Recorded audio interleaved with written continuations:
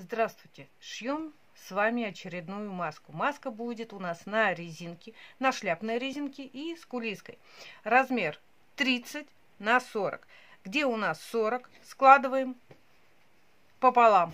И мы должны с краю проложить строчку с одной стороны и с другой. Эту маску можно сделать многослойную. У нас с вами здесь два слоя, но она будет у нас в гармошку собираться. Смотрите, вы дополнительно можете из ткани, ну, соответственно, подогнуть уголочки, прошить, и сюда сделать вставку.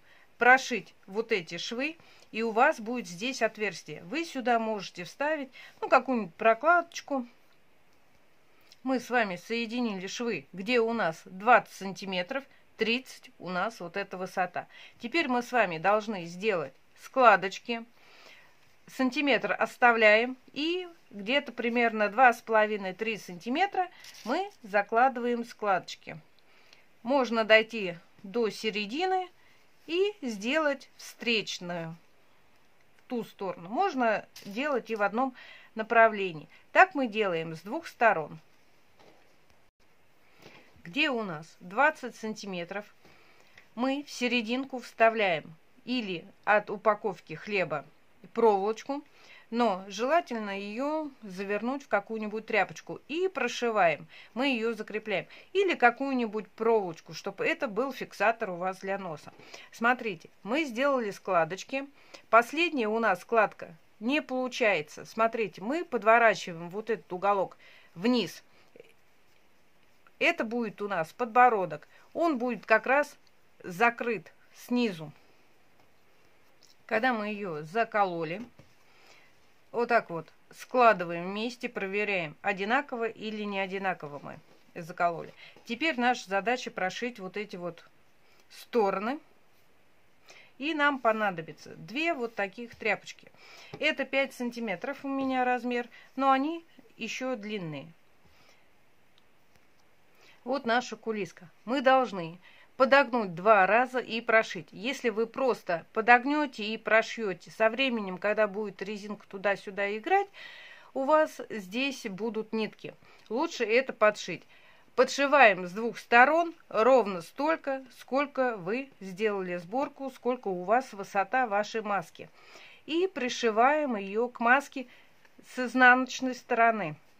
Чтобы у вас вот этот верхний шов, какой вы будете потом пришивать, пошел по лицу. У меня получилось здесь один сантиметр. Лишнее нужно с вами отрезать. Ну, где-то 0,5 миллиметров здесь точно надо отрезать, чтобы у нас лишнего не было. Когда мы пришили вот эту кулиску, это у меня шляпная резинка, вы посмотрите, она нежная, мягкая, хорошо тянется.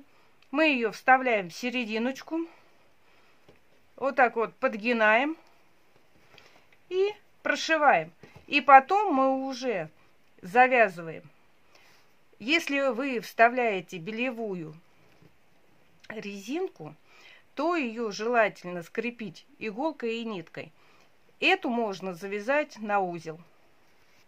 За 10 минут сшила уже маску. Смотрите, эти узелочки мы убираем вовнутрь, вот так вот перекатываем. Если у вас широкая голова, сделайте тогда 25 минут, это, сантиметров вот эту вот резиночку. Я ее уже одела, попробовала. Да, она мне больше понравилась, чем вот какую мы с вами шили в предыдущем видео.